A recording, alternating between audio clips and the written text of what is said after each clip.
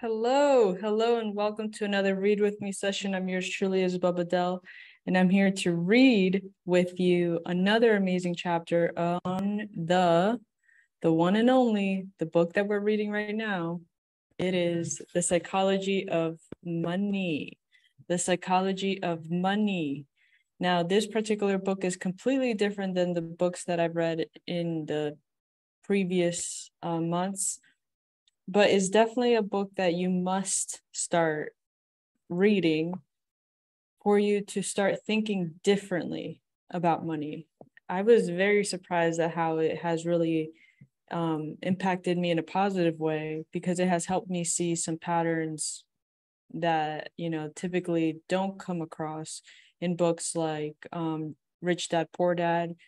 You know, Rich Dad Poor Dad has like one uh, side and then another side and he shares that different example. Well in this book right he gives different stories on how to actually maneuver through different obstacles different things that you know or different perspectives that people have about money. So if you are like just starting out in your financial freedom journey this is definitely a must. Like it just completely changes the the perspective that you have on money how to use it how to grow it how to multiply it how to maintain it how to get it um all of that. So definitely definitely get it. Just get the book. It's actually a really short book. We're almost done with it. We're like more than halfway through it already which is awesome. Um and definitely looking forward to finishing off this particular book. Get the summary points and sharing it with you guys. So super, super excited about that. And by the way, if you like Bob Proctor and you are interested in like going deeper within the paradigms within your mind, within your body, soul, everything, make sure to check out the playlist that Vanessa Black is reading. It's incredible. Like the book that she's reading right now is Change Your Mind, Change Your Paradigm. It is off the chain. You got to read it. You got to get that book. It's like such a small little book, but the the power within each chapter is magnificent. Promise you'll like it. So let's get into it. We're in chapter number 10. It's called Save Money. The only factor you can control generates one of the only things that matters the only thing, the only factor you can control generates one of the only things that matter. How wonderful. Let's get into it. Let me convince you to save money. It won't take long, but it's an odd task, isn't it? Do people need to be convinced to save money? My observation is that yes, many do. Past a certain level of income, people fall into three groups those who save, those who don't think they can save, and those who don't think they need to save. This is for the latter two. The first idea, simple but easy to overlook, is that building wealth has little to do with your income or investment returns and lots to do with your savings rate. A quick story about the power of efficiency. In the 1970s, the world looked like it was running out of oil. The calculation wasn't hard. The global economy used a lot of oil. The global the global economy was growing, and the amount of oil we could drill couldn't keep up.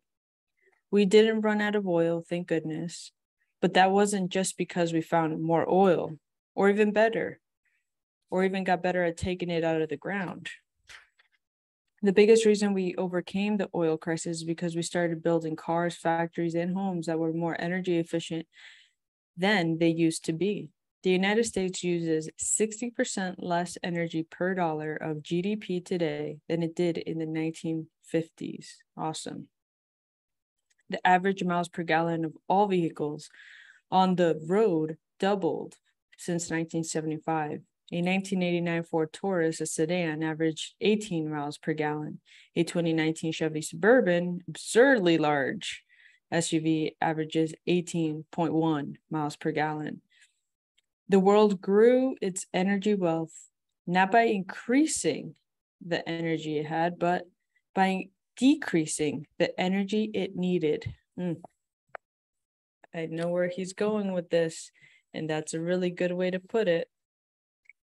US oil and gas production has increased 65% since 1975, while conservation and efficiency has more than doubled what we can do with that energy.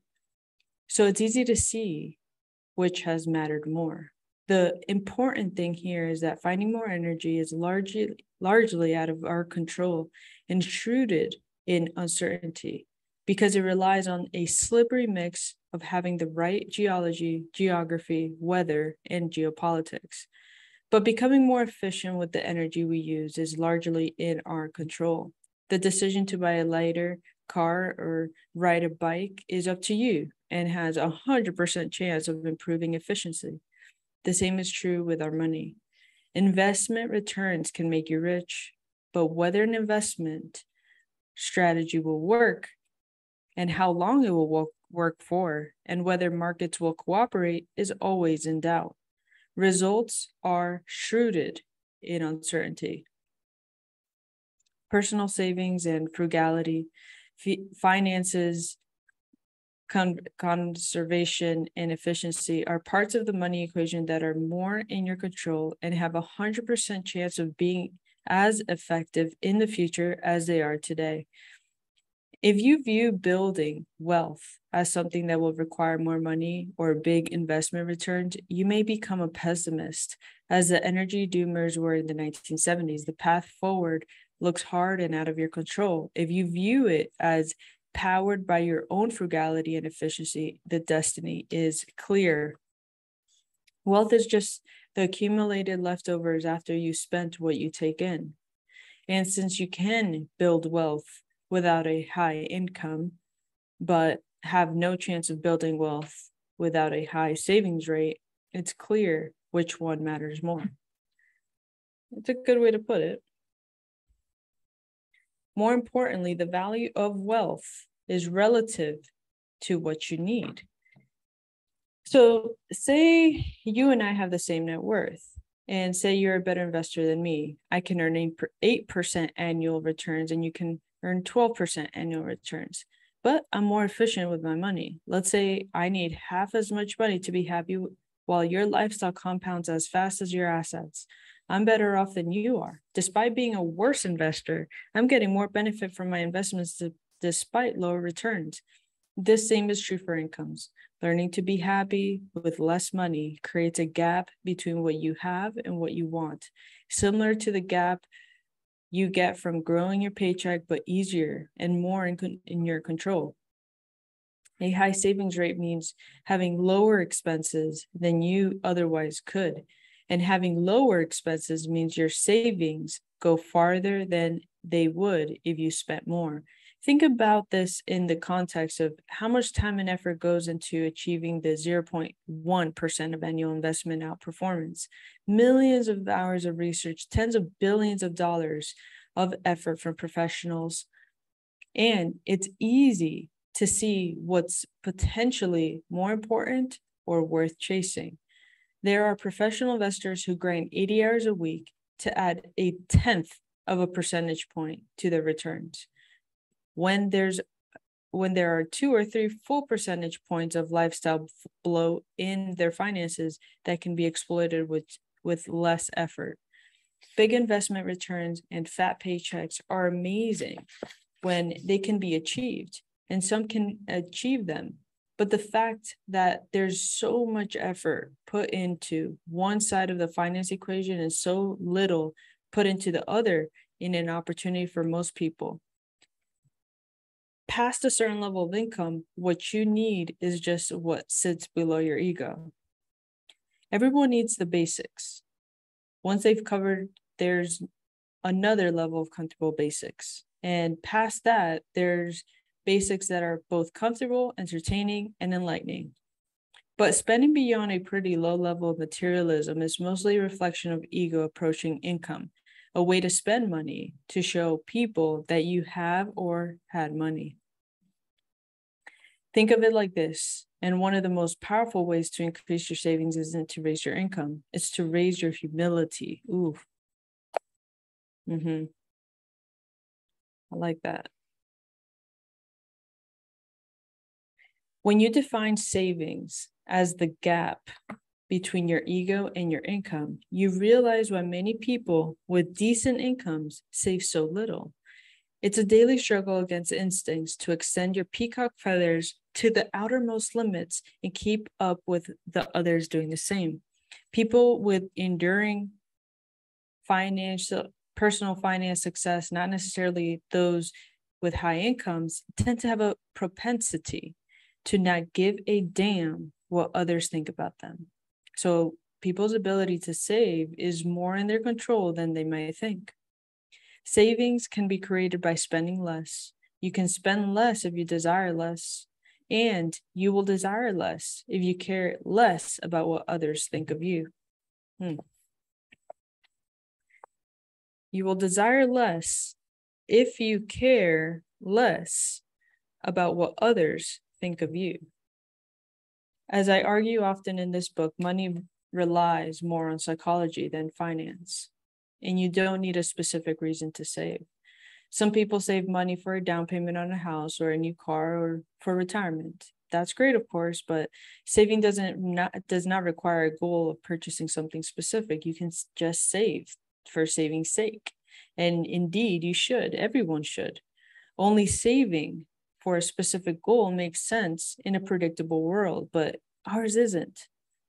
Saving is a hedge against life's inevitable ability to surprise the hell out of you at the worst possible moment.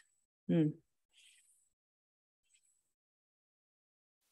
Another benefit of savings that isn't attached to a spending goal is what we discussed in chapter seven gaining control over your time. Everyone knows the tangible stuff money buys. The tangible stuff is harder to wrap your head around, so it tends to go unnoticed. But the intangible benefits of money can be far more valuable and capable of increasing your happiness than the tangible things that are obvious targets of our savings. Savings without a spending goal gives you options and flexibility, the ability to wait and the opportunity to pounce. It gives you time to think and it lets you change course on your own terms. Every bit of savings is like taking a point in the future that would have been owned by someone else and giving it back to yourself. Let me repeat this line for you. Savings without a spending goal gives you options and flexibility, the ability to wait and the opportunity to pounce. It gives you time to think, it lets you change course on your own terms. This is this is probably one of the strongest lines I've read in this book here because I think people overestimate the power of just waiting like just don't do anything yet just wait let it compound let it you know grow into something and then you can use it. Like it gives you time to process. It gives you time to wait for the opportunity to pounce.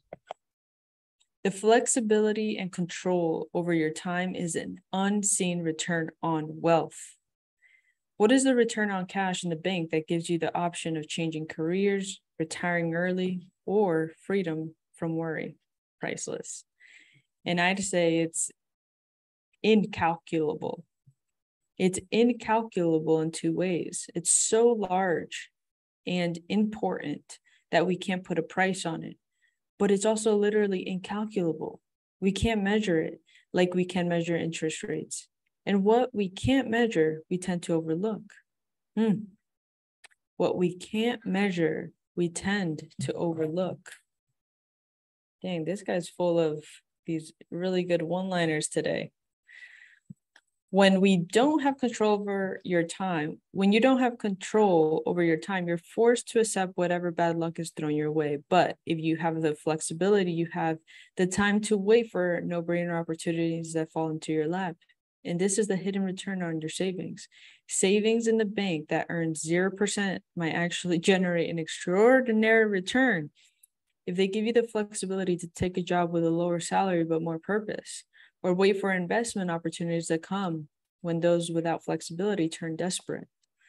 And that hidden return is becoming more important. The world used to be hyperlocal. Just over 100 years ago, 75% of Americans had neither telephones nor regular mail service, according to historian Robert Gordon. That made competition for hyperlocal. A worker with just the average intelligence might be the best in their town. And they got treated like the best because they didn't have to compete with the smarter worker in the other town. Things have changed. A hyper connected world means the talent pool you compete in has gone from hundreds or thousands spanning your town to millions or billions spanning the globe. This is especially true for jobs that rely on working with your head versus your muscles. Teaching, marketing, analysis, consulting, accounting, programming, journalism, or even medicine increasingly compete in a global talent pool. More fields will fall into this category as digitization erases global boundaries, as software eats the world, as venture capitalist Marc Andreessen puts it. A question you should ask as the range of your competition expands is how do I stand out? I'm smart. Is increasingly a bad answer to that question because there are a lot of smart people in the world. Almost 600 people ace the SATs each year. Another 7,000 come with a handful of points. In a winner take all globalization world, these kinds of people are increasingly your direct competitors. Intelligence is not a reliable advantage in a world that becomes as connected as ours has, but flexibility is. In a world where intelligence is hyper competitive and many previous technical skills have become automated, comp- competitive advantages tilt toward nuanced and soft skills like communication, empathy, and perhaps most of all, flexibility. Jesus. Literally, this weekend, Vanessa and I spent the entire Saturday talking about this. How freaking amazing is this? Communication, empathy, and perhaps most of all, flexibility. Wow in a world where intelligence and hyper competitiveness and many previous technical skills have been automated that's that's what we're talking about the most competitive advantages tilt toward nuance and soft skills if you have the flexibility, you can wait for good opportunities, both in your career and for your investment. You'll have a better chance of being able to learn a new skill when it's necessary. You'll feel less urgency to chase competitors who can do things you can't and have more leeway to find your passion and your niche at your own pace. You can find a new routine, a slower pace, and think about life with a different set of assumptions. Beautiful. The ability to do those things when most others can't is one of the few things that will set you apart in a world where intelligence is no longer a sustainable advantage. Having more control over your time and options is becoming one of the most valuable currencies in the world. That's why more people can and more people should save money. You know what else they should do? Stop trying to be so rational. And let me tell you why. And that's in the next chapter reasonable, rational. You know what? I got to tell you something about this book. The first chapter was a bit dark for me. The second chapter was getting lighter. And then as we continue to read and read and read, we're in chapter 11 already.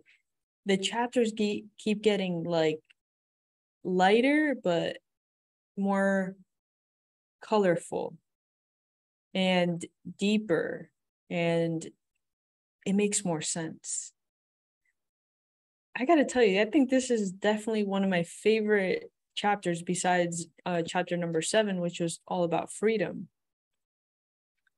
And I think it's because I really, I really believe in control. I really believe in having the ability to just give. I mean, this whole entire year, both Vanessa and I, we've given ourselves a whole year to do this like literally what I just read.